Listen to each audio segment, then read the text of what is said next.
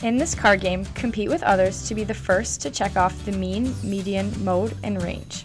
This game is suitable for players in grades 6 through 8. You need a deck of Uno cards, remove all non-numeric cards in the deck, such as the skip, reverse, wild, etc. Additionally, you will need the Stat Zee score sheet. During each round, players try to collect cards for which the mean, median, mode, or range is equal to the target number. The game has four rounds. Players must make a hand for each type of statistic during the game. No statistic can be repeated.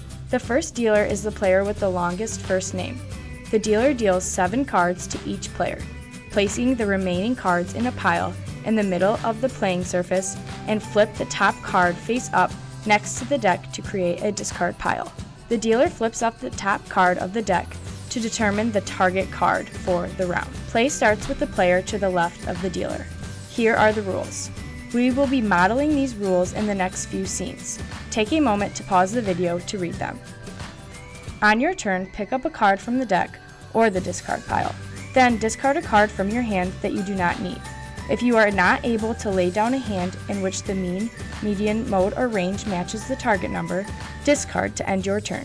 If you determine that your hand satisfies the target mean, median, mode, or range, lay down your cards face up in front of you. Remember, you must use all of your cards. As you can see, the player's cards at the top right of the screen have a mean equal to 5. Write your score on your scorecard to identify that you have completed that round. You have now completed one of the statistics. You cannot repeat it on the following rounds.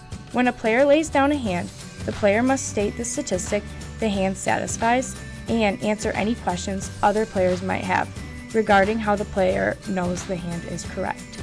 The rest of the players have one more chance to try to find either the mean, median, mode, or range. After the other players have had a final chance, a new round begins. If you were able to lay down your seven cards in a round, pick up seven new cards.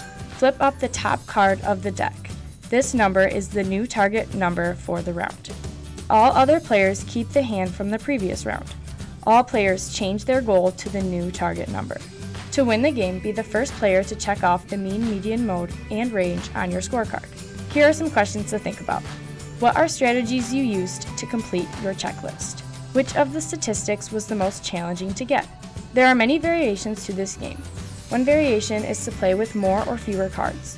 To play this game, deal an even number of cards so that the median is no longer the middle card. This increases the challenge of the game. Another variation is to play collaboratively. In this game, players lay their cards face up on the table so they can work together to complete the statistics score sheet checklist. Finally, you can play this game with dice.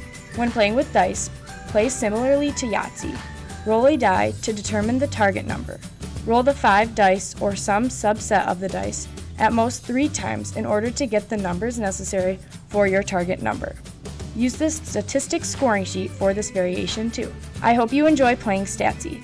Find more thorough instructions by copying the instructions link to the Regional Math Science Center website to read the game rules or just rewatch this video, pausing as needed.